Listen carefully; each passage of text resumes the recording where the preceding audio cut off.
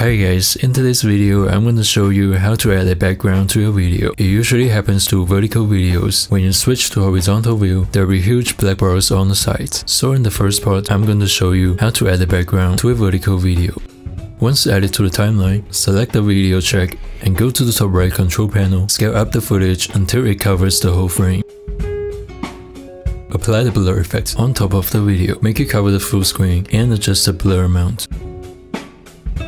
Import the vertical video on top of the current track and now you have the background from the original footage.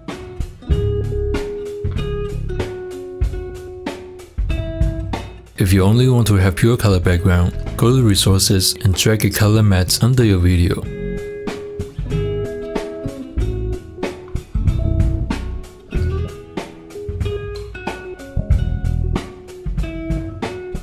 If the color background feels blank to you, you can always add text or other elements, stickers on top of it.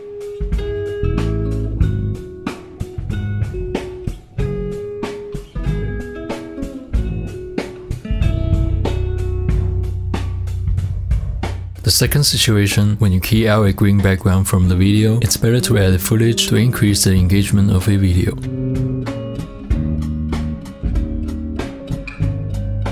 Or if you have a special usage of the clip with only you speaking without the background, you can always go for that too. And that's the end of this video, thank you so much for watching, I'll see you in the next one.